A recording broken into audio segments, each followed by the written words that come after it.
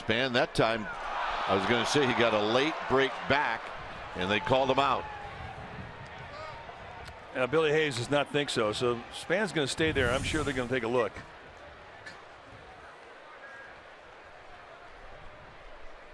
And I think the tag was laid high on the, the hip.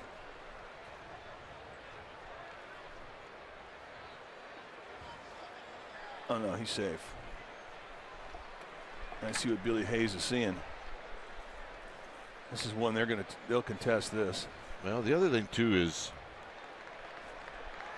you're going to lose your ability to take a look and challenge if this goes by way of staying exactly the same. This replay review is presented by Xfinity. But hey, it's significant, right? Man on first, Oh, nobody yeah. out. Kidding me? I mean, first inning for a guy like Cashner, like a lot of good pitchers, that's when you can get them, and they're most vulnerable. They haven't really locked into the rhythm.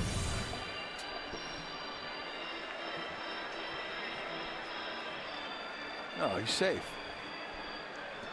Of course, Uh, yeah. how we've been doing lately?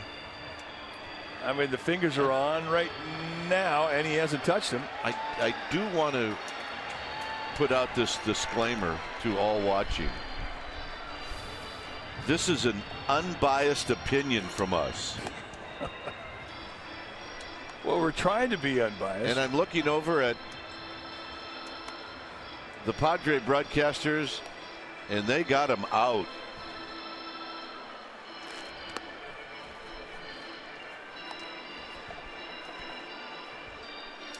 And that's an unbiased opinion as well from the Padre broadcasters.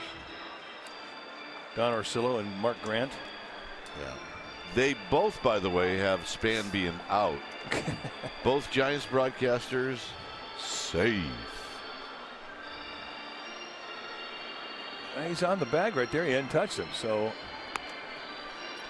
Are you 98% sure or 100% sure? Well, I've been 100% sure here a lot over the last weekend, and it hasn't exactly been working out the, that way. See, I'm 99% sure that he got back. Well, you And I know. still think that that's good enough. Well, I'm hoping you're right. Here's the problem. And, uh, and I know that there has to be a. It's easy for us to say up here, but you're, you know who you're punishing here? Andrew Cashner. Yeah, Cashner's out there, and he's trying to find a rhythm. Now he's going to have a, and he's safe. Good call. And it does mess with your rhythm if you're out there on the mound.